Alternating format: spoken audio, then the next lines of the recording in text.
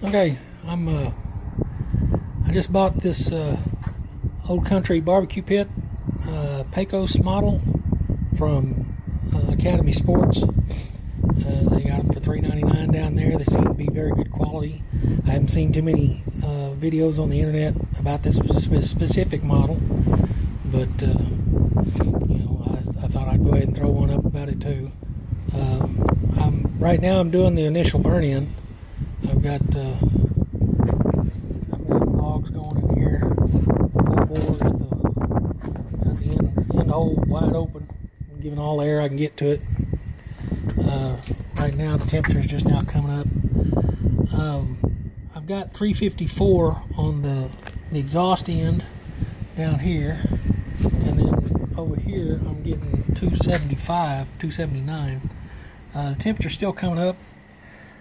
Uh, What I did, I did the same thing that there's a couple other videos where they talked about taking the plate out of this uh, uh firebox. That the it's got a plate down there on the bottom, and then above it, it's got expanded metal for like a grill, so you can use it as a barbecue pit.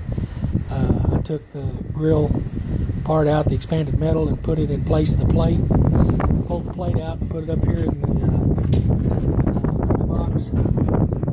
Uh, see it there. Uh, it's got a little bit of a gap in between the uh, end and the plate. I had it right up against the end, and it was just really getting really hot on the far end, and this end wasn't, getting as hot. Uh, I moved it a little bit, gave it about two inches gap, an inch and a half gap, uh, and I'm still getting quite a bit of difference, probably about 70 to 80 degree difference. Uh, 316 was it 260, 271 and 316. So uh, it's kind of filling, it's closing the gap, but like I said, I just got this started. It's it's still heating up. I'm trying to get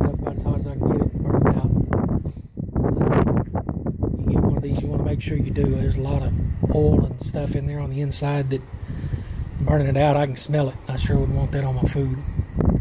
But anyway, that's the uh, old country Pecos barbecue pit uh, smoker from Academy.